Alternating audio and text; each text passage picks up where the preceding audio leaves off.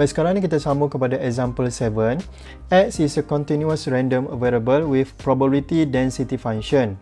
Okey, ini dia bagi function dia dalam bentuk piecewise. Okey, kemudian piecewise ni dia cakap uh, untuk interval daripada negatif 2 included sampai 2 included, dia punya function adalah hx square.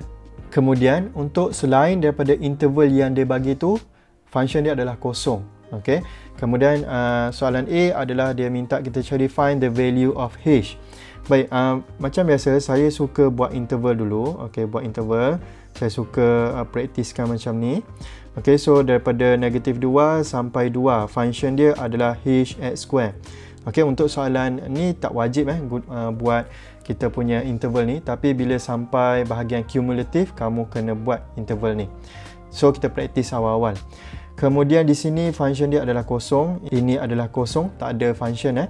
Kemudian ini adalah uh, kita punya interval yang pertama, interval yang kedua, interval yang ketiga. So untuk soalan A, dia minta kita cari find the value of h. So ini kita akan gunakan uh, properties di mana hasil uh, integrate okay, daripada negative infinity sampai infinity adalah sama dengan 1. Okay, so integrate daripada negative infinity sampai infinity fx dx mesti sama dengan 1. Kita gunakan properties ni. Okay, so next dia akan jadi okay, integrate negative infinity sampai negative 2. Itu adalah untuk interval yang pertama. Okay, ini saya tulis dulu fx dx plus integrate daripada negative 2 sampai 2 fx dx uh, plus integrate daripada 2 sampai infinity fx dx. Kemudian barulah kita masukkan function dia. Okey, bila kamu dah mahir, step ni dah tak perlu dah. Kamu boleh terus substitute function. So integrate daripada negative infinity sampai negative 2 fx. Function dia apa? Tak ada function eh, kosong. So dia akan jadi ini adalah kosong dx plus integrate daripada negative 2 sampai 2 apa function dia? Function dia adalah hx square. So saya akan letak kat situ uh, dx plus integrate daripada 2 sampai infinity kosong dx. Tak ada function eh? Di sini tak ada function. Kemudian ini akan jadi kosong je lah. Ok plus baik h tu adalah constant. Uh, so saya sebenarnya boleh keluarkan dia keluar. Ok so dia akan jadi macam ni.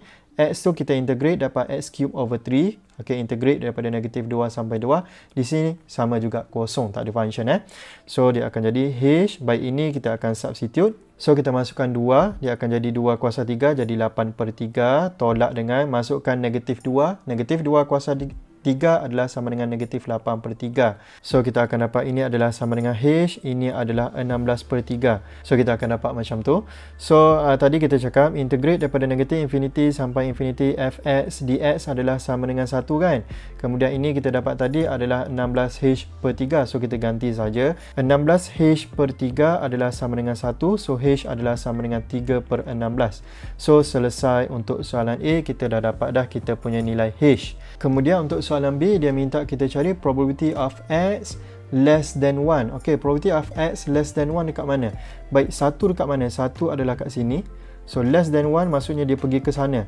So dia limpas berapa interval? Dua interval. So kita kena buat ini adalah sama dengan integrate daripada negative infinity sampai negative 2 fx dx tambah dengan daripada negative 2 sampai 1 fx dx. Kemudian barulah kita masukkan kita punya function. So kita akan dapat ini adalah kosong. Okey, kosong kat sini. So ini dx plus okey, integrate daripada negatif 2 sampai 1 function dia apa? hx square. h dah dapat tadi. Kita masukkan saja 3 per 16 x square dx. Okey, so ini adalah kosong. Okey, kemudian uh, constant saya boleh keluarkan. So saya akan dapat 3 over 16. x square integrate saya akan dapat x cube over 3 from negative 2 to 1 kemudian kita akan uh, substitute nilai so kita akan dapat 1 per 3 tolak dengan uh, negatif 8 per 3 ok kemudian ini adalah sama dengan 3 per 16 darab dengan 9 per 3 so kita akan dapat jawapan dia adalah sama dengan 9 per 16 selesai untuk soalan B Baik, kemudian soalan C. Soalan C dia minta probability of modulus of x. Okay, less than 3 over 2. So, macam biasa, kalau modulus kena buat macam mana? Kita kena pecahkan dia dulu. So, ini akan jadi negatif 3 per 2. Okay, x ini 3 per 2. So, kita tengok. Negatif 3 per 2 dengan 3 per 2 kat mana? Baik, uh, negatif 3 per 2 adalah kat sini. Kemudian ini not included. Kemudian untuk 3 per 2 dia adalah dekat sini. Ok not included juga. Tapi jangan risau. Bagi case continuous sign dia tak penting eh. Sign dia does not matter. Kita guna sahaja nombor yang dia bagi. Sign does not matter ok jangan risau pasal sign. Guna sahaja nombor yang dia bagi. So bagi soalan ni kalau kamu tengok dia dekat mana? Dia dekat uh, interval yang kedua sahaja. So hanya ada satu interval saja kita boleh straight away buat kita punya uh, integration ni jadi macam ni. Ok integrate daripada negatif 3 per 2 sampai 3 per 2 uh, fx dx baik function dia apa tadi? 3 per 16 ok x square dx Okay, kemudian kita akan buat macam biasa. 3 per 16 constant keluarkan dulu kemudian ini akan jadi x cube over 3 from negative 3 over 2 until 3 over 2 So bila macam ni, okay, uh, 3 ni saya boleh keluarkan ataupun saya boleh potong. So saya akan dapat 1 over 16.